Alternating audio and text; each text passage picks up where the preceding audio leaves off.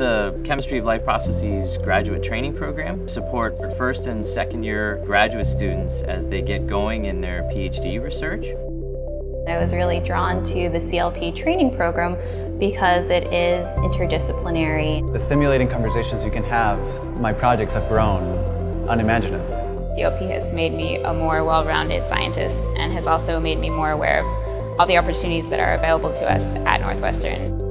In addition to chemistry and biology, we also have engineering students and students from our medical school. And it's really a remarkable experience to be able to have hands-on experience in these collaborative areas. We've had over 35 trainees and 54 publications has resulted from that. And so we're young but rising quickly. There's several different programs that act as feeders. That includes the IBIS program, the chemistry graduate program, the Driskill program, bioengineering, chemical and biological engineering. We say we hunt in packs. That is to say that we team up and professors join forces to go take on bigger problems with direct societal benefit. So as an example of that, the graduate students, they have two mentors. They're really driving the interface between two or in some cases more labs. My background is in molecular and cellular biology and my mentors speak the languages of chemistry and engineering. So it's been a really immersive experience. In terms of what sets the CLP training program apart, one of them is the PI. I mean, Rick Silverman has uh, had a massive impact in biomedical research. Rick Silverman co-invented Lyrica, and it's a blockbuster drug. In fact, we're in Silverman Hall, and that's the home for the Chemistry of Life Processes Institute.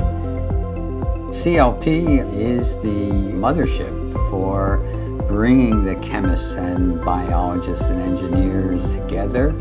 We are designing new molecules really trying to tackle important problems in neurological, neurodegenerative diseases, cancer, cardiovascular problems.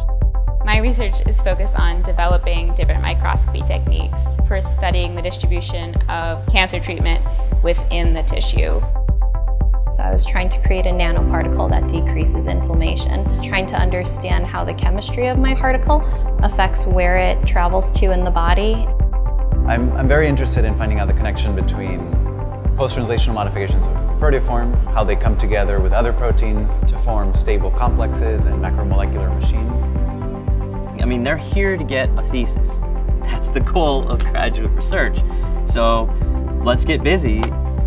There is this really strong focus on robustness, rigor, and reproducibility. And so study design, all the things in executing basic research and translational research, those are elevated and there's all sorts of training opportunities. At the end of my first year of graduate school, I had done rotations in a molecular biology lab, a chemistry lab, and a biomedical engineering lab. It was easy for me to see how the fields could fit together. Understanding what you can do as a researcher and the skills and the, the type of information you can gain from plants and from fungi and from bacteria. These tools and these resources, proteomics, genomics, metabolomics, lipidomics, it connects you with a wide range of departments and both the students and the professors and even the core facilities. You actually end up getting a lot of advice on your project. You've built this relationship with this person and you know that you can always go back to them with questions or with new samples program hopefully will then train these students to go out and become independent scientists and not just focus in a narrow area. That they'll be able to understand what they need to have accomplished in order to get research done. And this training program allows the students to see what that process is, starting from making a molecule and bringing it all the way through to clinical trials all of the career panels that I've attended through CLP have given me a better appreciation of how broad industry really is and how many different careers you can have within that. The opportunities to interact with scientists that work in industry and who are entrepreneurs and venture capitalists, allowing me the opportunity to host a panel, how we encourage women to stay in academia academia seems much more accessible to me having the support system of CLP. We have everything we need here at Northwestern. We'll have many therapeutics uh, and diagnostics coming onto the market resulting from this fantastic collaboration among chemists, biologists, and engineers.